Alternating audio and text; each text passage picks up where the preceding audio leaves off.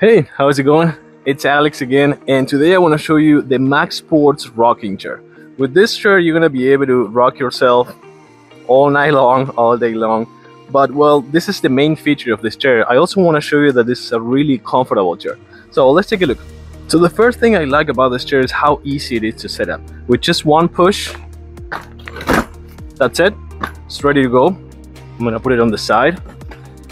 And then you can just keep rocking yourself, as I was saying before, all day long, all night long. This is super comfortable. But also, when you're done, you just need to push it back again and it's ready to go. And it comes with two handles here, so it's perfect for transportation as well.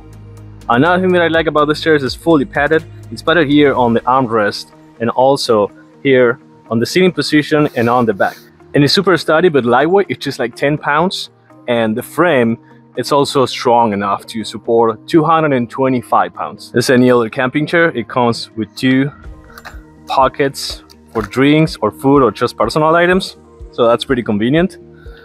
And again, the rocking thing, I love it. And the other great thing about this chair is, as you can see, it keeps rocking for sure, but here it has a top. So you won't trip, you won't fall because it goes into like this place and that's pretty much it. You can go anything or anywhere beyond this point.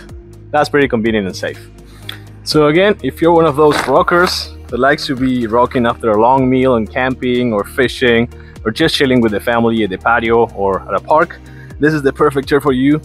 Thumbs up from me. I really recommend it. Super comfortable, sturdy, easy to transport, and the rocking, you can beat that. I hope you like my review and I'll see you soon in my next video. Thank you.